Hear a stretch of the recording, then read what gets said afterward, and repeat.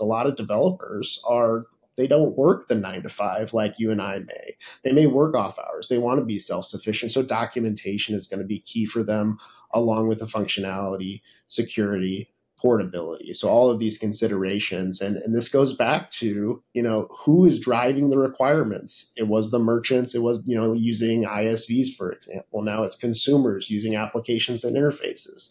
And to make that easier, we need to make it easier for developers as well. And that includes the documentation, uh, and how we can, you know, review that, interpret it, and um, be self-sufficient.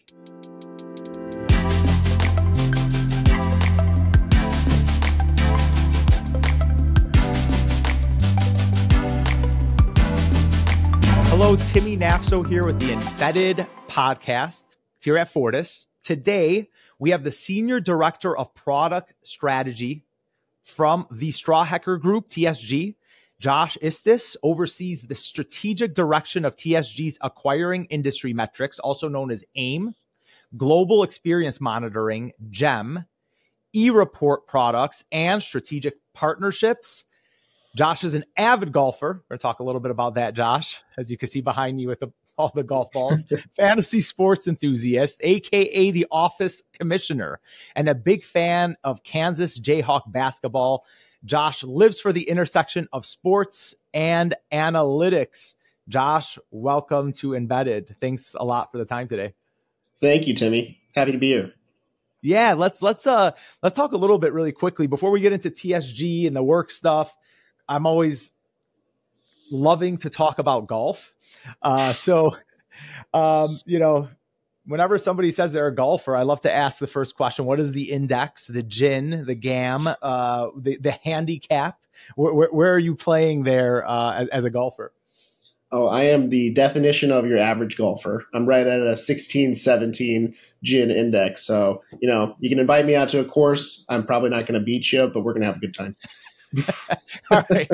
Well, you know, the running joke for me, actually, a lot of people asked me, uh, it was particularly one of my really good friends that's like a seven or eight. He's always been a really good golfer. And I not naturally didn't come out of the, the, the golf stable, if you will, playing really mm-hmm. well as a soccer player, broke my ankle and decided, you know, I had a daughter already at that point. I was in physical therapy. I couldn't get to work. I was like, I need to pick a sport I can get better at every year, not mm-hmm. worse. And it was getting really kind of depressing trying to run with a lot of these soccer players at the time and thinking I could make moves that I couldn't. So I took on golf and I was aggressive in coaching, but like right away I was a 30. You know, some people go right to 22 or 23 mm-hmm. or they start off as their baseline. I was like 40. Like I was embarrassing. But the thing that they all said about me is when you saw me on the course, it looked like I knew what I was doing. Like the gear was top notch.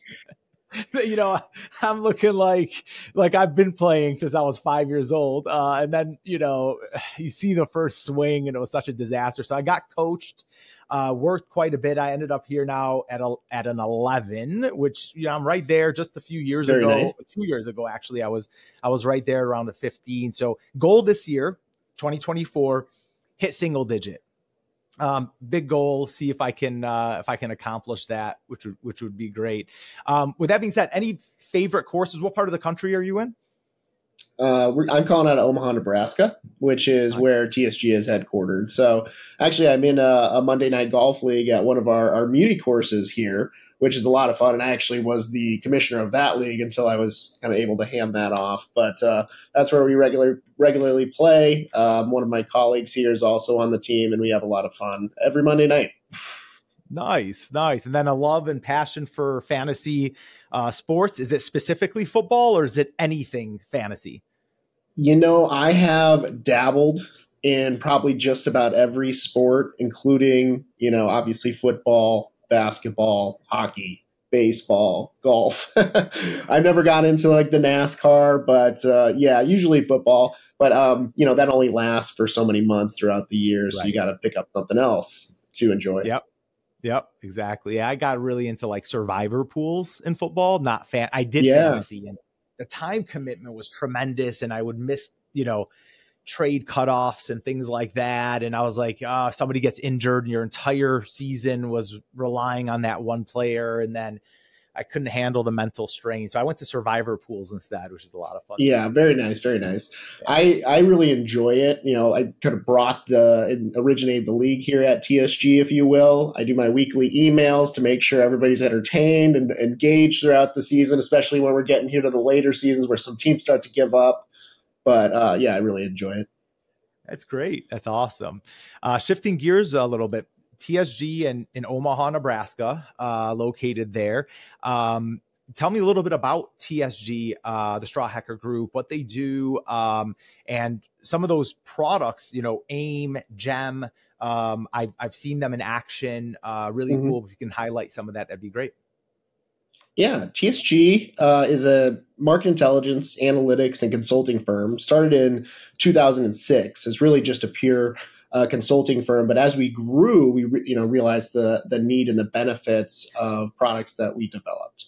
And so we have a market intelligence team. They're really the eyes and the ears of the payment space. They do a lot of work uh, with surveys as well as thought leadership and helping our clients with their custom uh, needs, whatever you know, whatever they come to us for. We also have our analytics products that you referenced there, uh, which one would be AIM, our acquiring industry metrics platform, and that was actually you know where I started here at TSG as a as a data scientist and kind of grew up to a, a senior director of product strategy, but really focusing on our acquiring industry metrics uh, product initially, which is our financial and uh, profitability performance benchmarking service uh, where we're actually able to benchmark merchant, merchant acquiring portfolios against the, the rest of the industry in an anonymized way. So it's a really cool tool that has an interface um, and everything like that. And then I also oversee our global experience monitoring uh, benchmarking tool, which uh, initially really focused in on payment gateways and benchmarking from a technology perspective, from an experience perspective, as well as a developer perspective, which we're going to get into a little bit more uh, later today. And then also um, e-reports, which is a continuation of our thought leadership. You know, we're really um, also focused in on directories that we're putting together in the merchant acquiring space, gateway directories, as well as additional thought leadership around buy now, pay later, surcharging, uh, embedded finance, to name a few, uh, QSR and payments, for example. And then um, last but definitely not least is our consulting services. And th- think of this as kind of a, a bullpen of industry experts, all with a, a very specific focus. These industry experts have decades of experience, so real hands on live application. And so, with that bullpen of experienced senior associates, along with our market intelligence, along with our analytics platforms, we're really able to offer the payments industry something something very unique to solve uh, the problems. And our, our vision statement here is provide clarity to the complex, and that's what we set out to do yeah, obviously a, a well well respected uh, name uh, in in industry for sure, and uh, a lot of great products and reports coming out of your camp, which is really cool to see. Um, as we're seeing kind of some of those benefits as you look at the payment industry itself.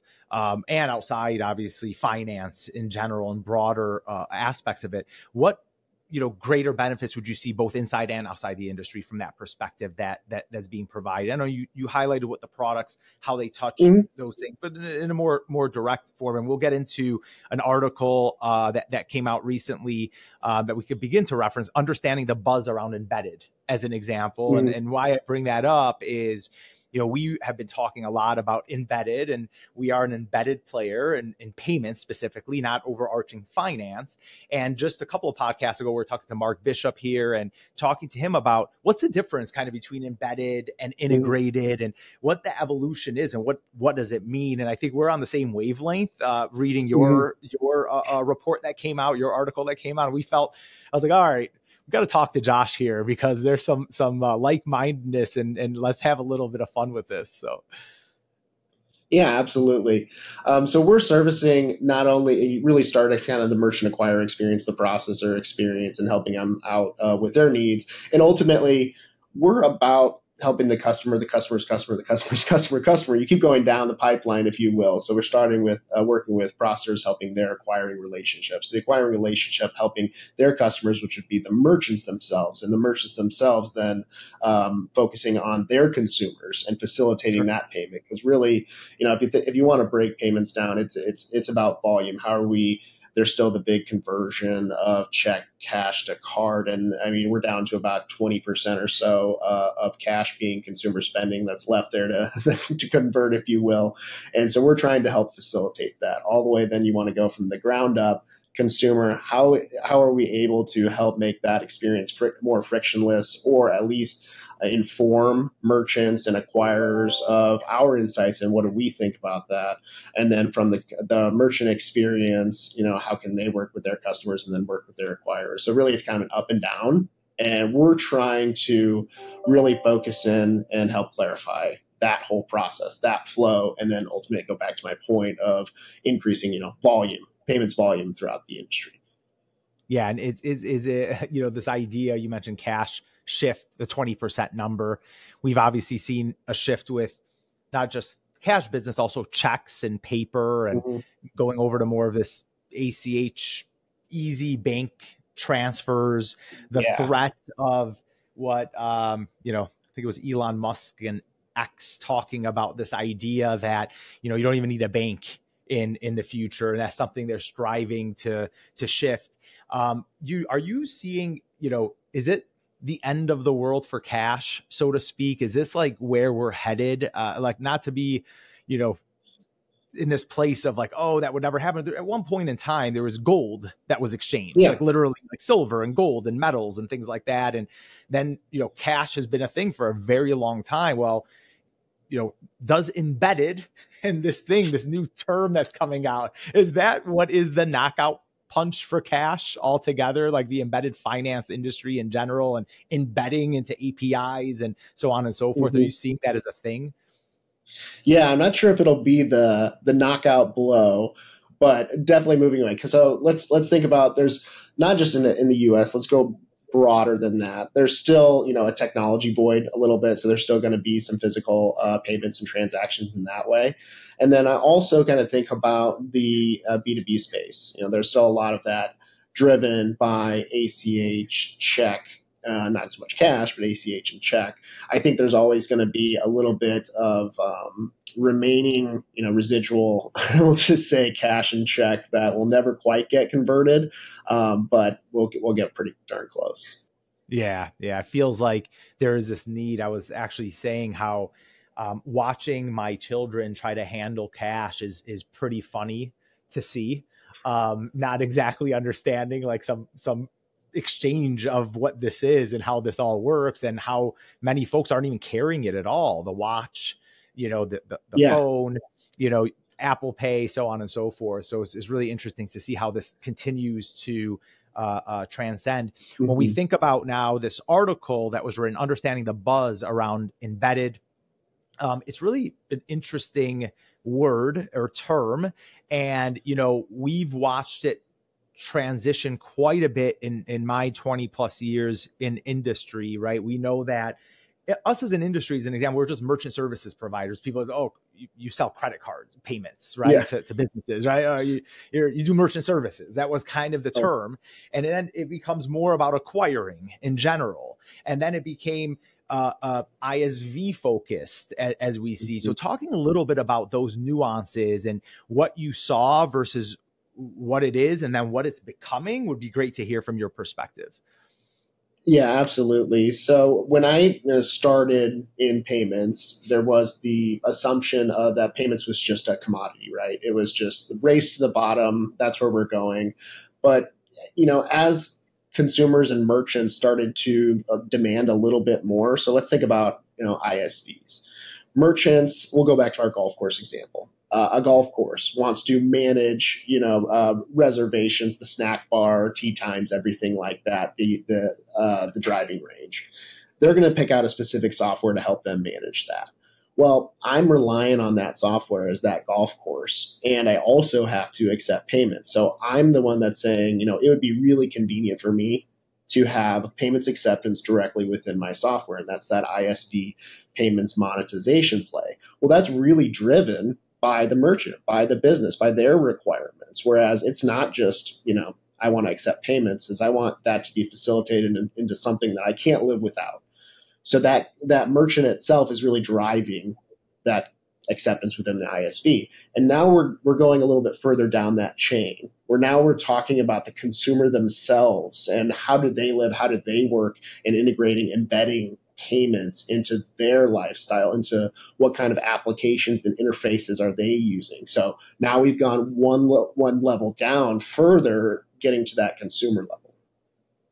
Yeah, absolutely. Uh, to your to your example of the golf course, there's a why that comes behind a lot of these from the consumer perspective. That we actually recently launched our white paper on embedded, similar to what you had put out with this idea of what is it, you know, debunking what it is and isn't, and understanding all the aspects of embedded. Um, and when we started to look at those things, you start to say, okay, well, when I am on the golf course and the cart comes around and I want a snack and the only mm-hmm. thing they accept is cash and you don't have cash does that now limit your ability to purchase a drink or buy a snack or whatever the case may be and as the experience gets more powerful and how i would love to describe it is this idea of this invisible experience that as the consumer it is frictionless it is mm-hmm. this idea that i can actually order frictionless through the isv through the software order have what I want on demand, get to my location quicker, and not have to have an exchange. And we're seeing a lot yeah. of that occur, like less exchange, less reason for exchange in the hotel space. That's that's the space my family's from originally. Like, you know, do you actually need to check in at a at a front desk like this? And we're seeing like, oh, you can quote unquote check in on the app now, right? And and all of these things I think would be part of kind of the embedded experience, but then we carve out the financial part and then furthermore yeah. drill down to the payment part of embedded, uh, which is you know also fairly complex for people. Thus, why we created a white paper. yeah. So absolutely. Yeah. Yeah. Yeah. So we think we think about embedded finance, and this is what we're talking about. These terms, embedded finance, embedded payments, they're often used synonymously, which they they are not. Um, and embedded finance is in, embedding financial tools into a non-finance interface or application, right? But embedded finance is an over uh, encompassing umbrella of embedded payments. It includes embedded insurance. It includes embedded uh, banking, for example, as well as embedded lending. And so not only are we um, embedding the ease of uh, accepting or, or making payments within a non payments or non-financial application or interface, but there's also opportunities for you know embedded insurance. So you go to Ticketmaster, uh, you buy your next event. Uh, I recently bought tickets to uh, Blink 182, they're coming back around with their U.S. tour, and I bought some insurance with that because that's not for you know next August. I think is when that show is. So bought some insurance there.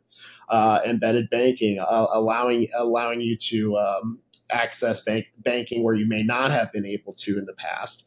Um, as well as embedded lending. Buy now, pay later, for example, is an example of uh, embedded lending. So, embedded finance is a lot more uh, than just embedded embedded payments. Yeah, and is it like is there an argument to be made that if I just said to you, they're all just integrated? Uh, they're just all integrated. Those are all, you know, buy now, pay later is integrated. Uh, the banking is just integrated, right? Is it a play off words? Is it just attractive to have a new term that came out because the old one it wasn't as you know a, a tr- you know sexy if you will like what's kind of the feeling as to why the word embedded yeah, and embedded um, in my content is just easier to, is easier to use, easier to integrate, especially from a developer's perspective. It doesn't it doesn't require as much of a, a hands-on experience integrating into a specific software. It's also more universal in nature.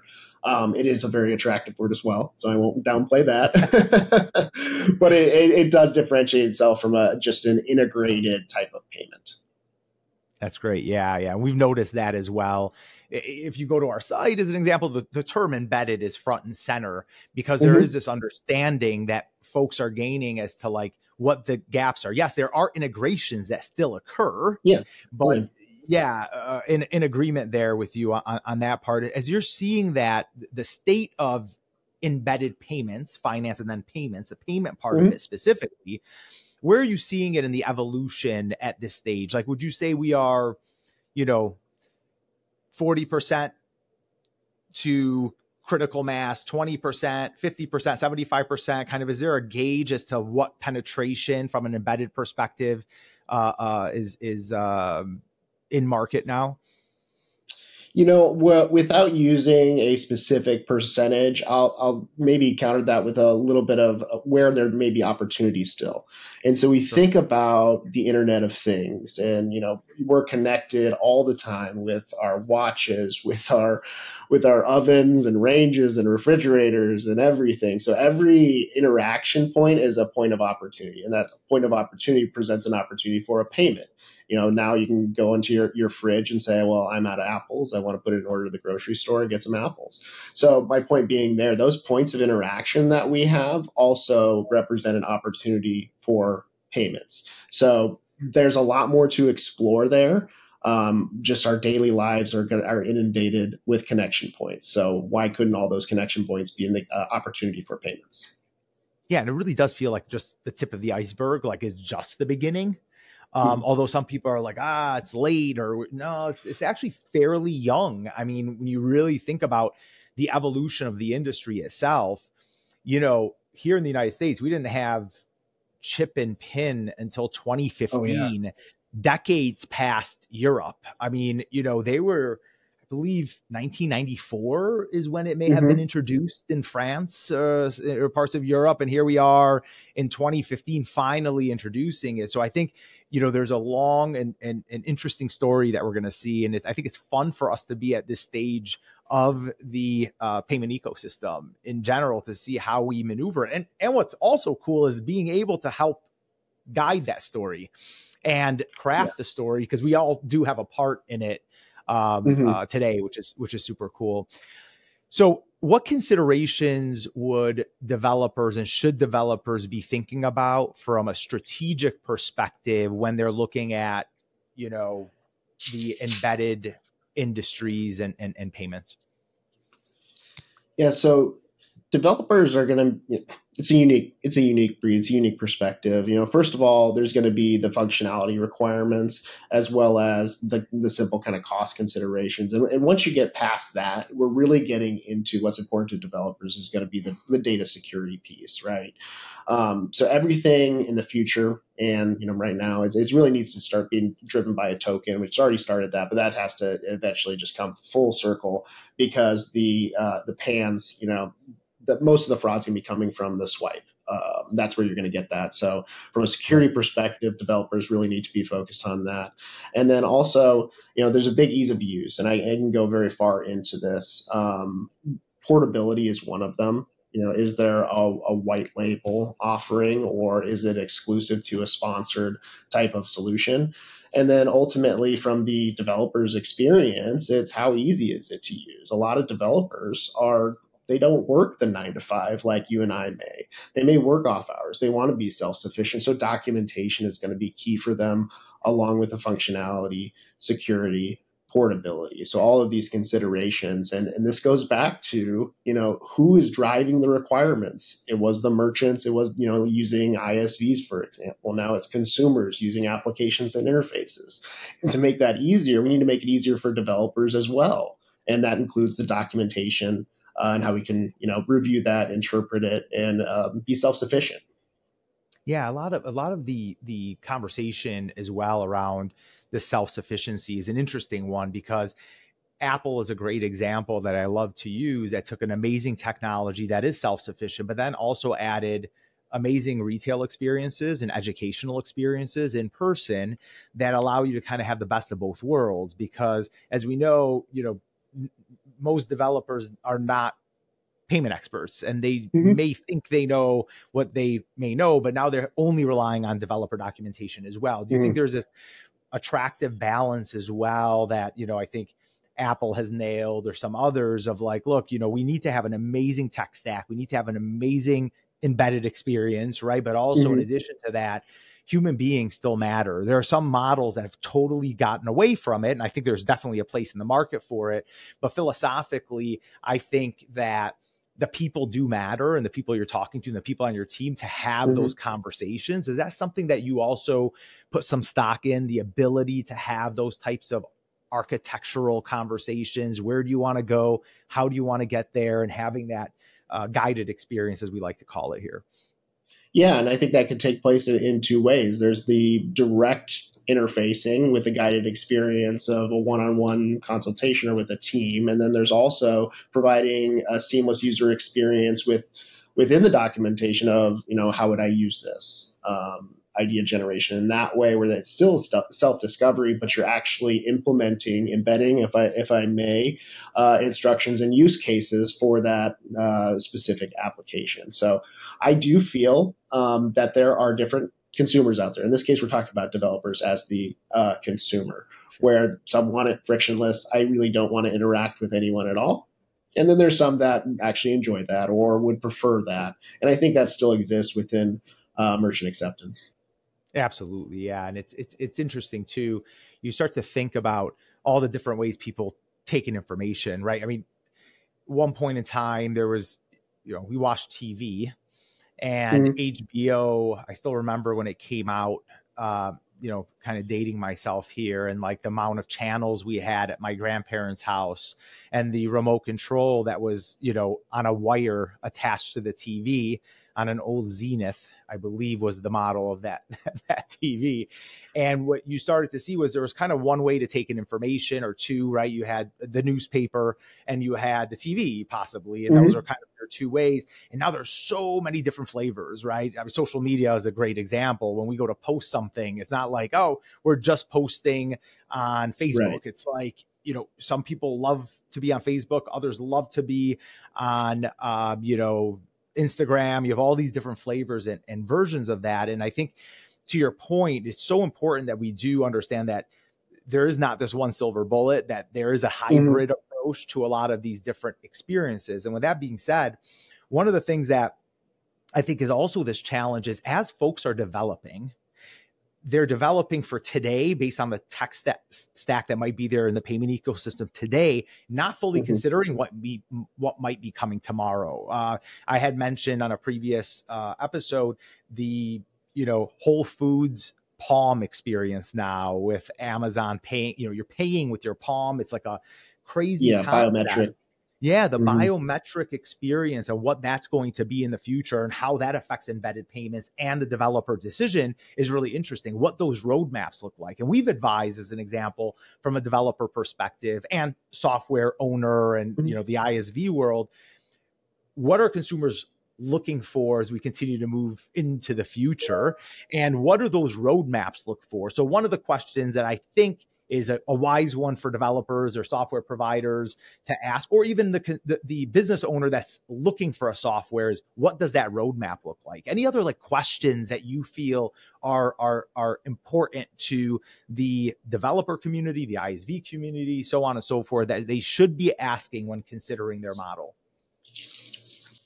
You know, from a developer experience, um, I think the guidance that we can provide in we talked about the documentation itself, but there the applications are going to be coming once again from the consumer. And so what I really like to think of from a user experience, where are we going is get a pulse, get a read on what the consumer actually wants. Because with our experience here, my experience with product development and product strategy is we've created, invented, developed all cool features, functionalities that we think the market needs and wants.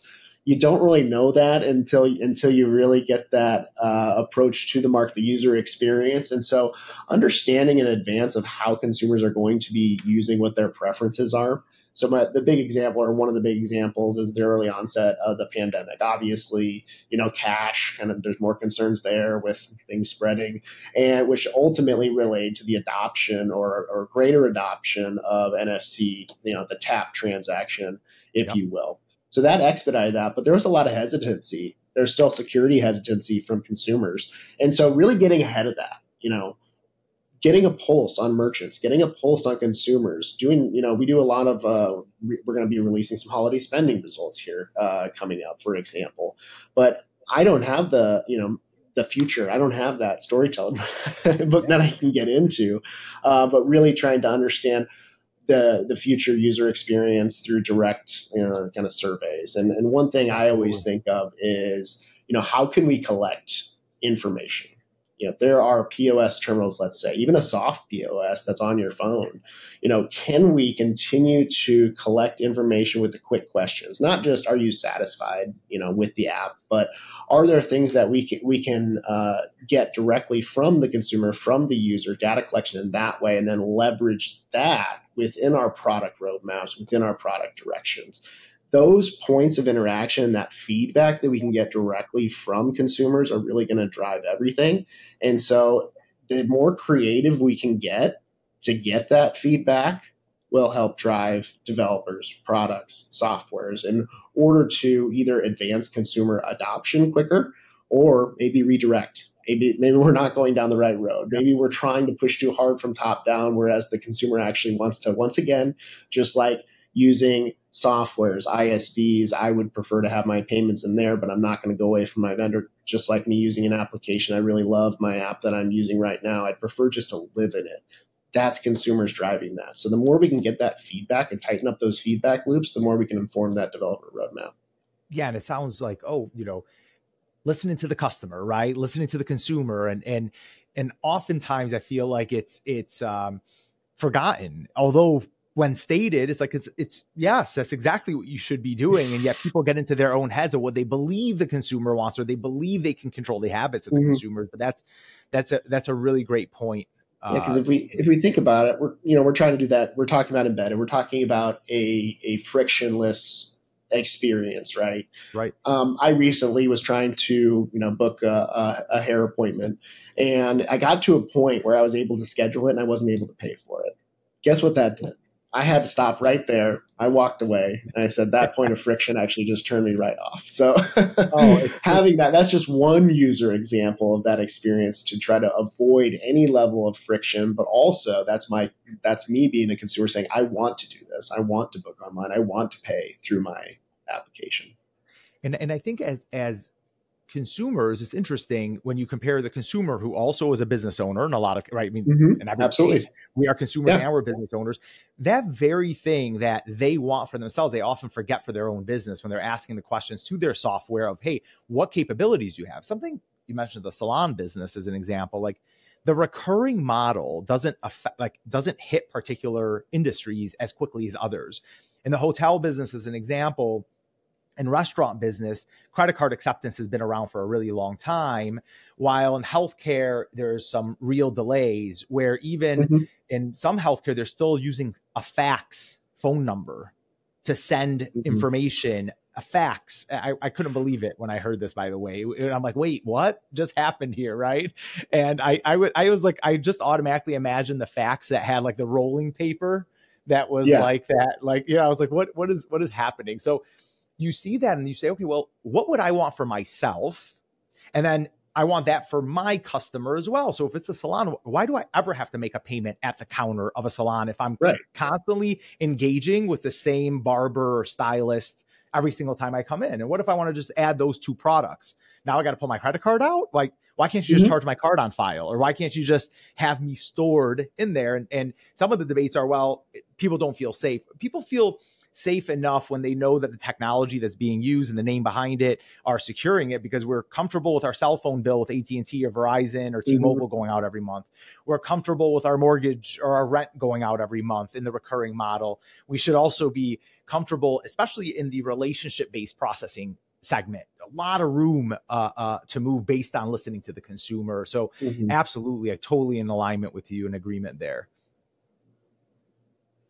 Yeah. So what I what I was thinking on that one as you were you were speaking was it goes back to the developer and the security, the importance of security there, right? Because we have to have a trust between the consumer and just the the industry in, in general. Because you have, like you said earlier on, if you have your cash, I trust that that's you know worth something.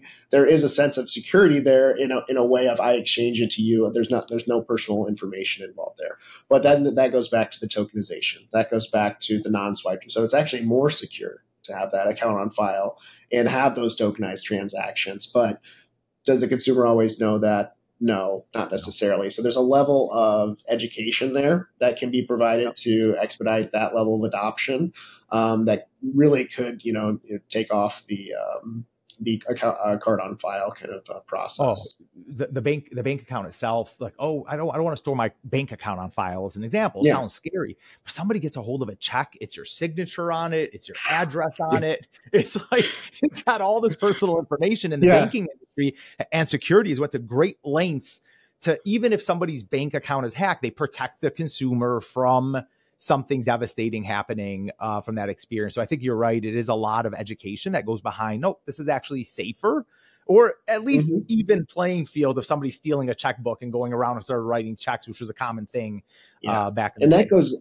There's that distribution channel, right? So we're we're trying to. Uh, encourage payments and there's a level of trust there there's also the level of education with the consumer but that also starts with the merchant themselves you know, yeah. can I accept this? What what do I know about payments? So there's that, and then that kind of goes back to your point uh, earlier when we were talking about you know developer experience. Is there that interaction with the merchant to educate them, or is there instructions provided to help um, educate them without the you know intera- human interaction, more of a tech touch way?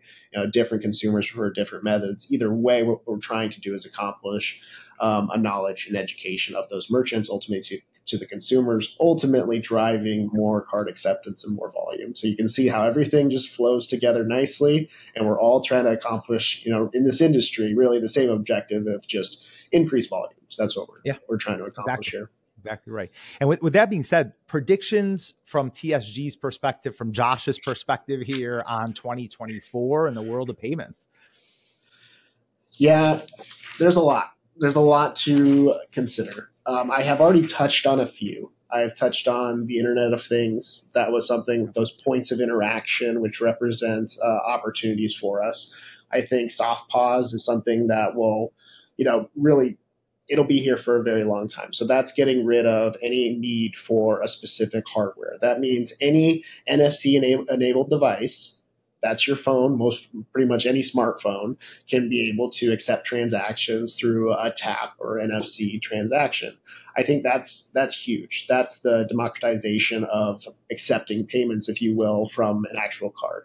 And then there's also you know some other other movement uh, enablement, uh, movement of money from the account to account uh, type of payments there, uh, which I think is going to continue to move forward um, and then obviously the the embedded nature and the functionality uh, driving things. Awesome, awesome.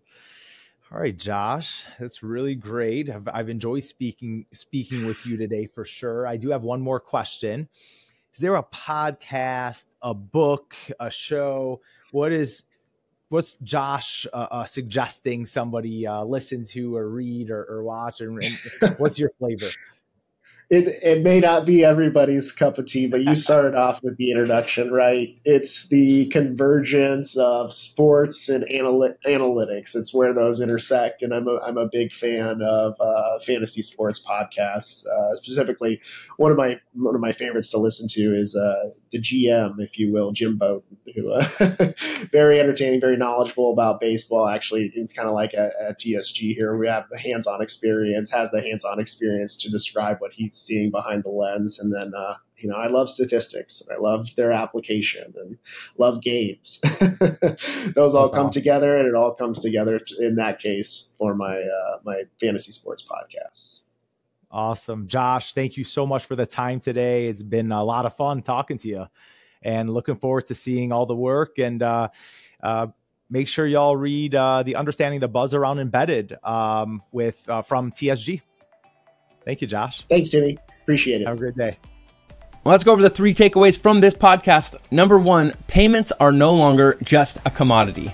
And while merchants were driving features for ISVs and developers, the consumer is now the one demanding the types of features and functionality. And what's more, the new benchmark is expecting the seamlessness from the standard players to be available with all software vendors. Number two, while players in the financial space need to focus on their unique features and cost for the consumer, the payments partner should focus on the ease of use in their integration documentation. And number three, get a pulse on what the consumer actually wants. It's all too common to believe that the features that you're building are what the consumer wants. However, you'll see that if it wasn't vetted properly, you may not get consumer adoption that you're expecting. The key is to survey your audience beyond the satisfaction ratings by analyzing the data points that tell the true consumer story. Well, that's the episode of Embedded. If you found value in this episode, please leave us a five star rating and subscribe to stay up to date on payments, software, and emerging technologies.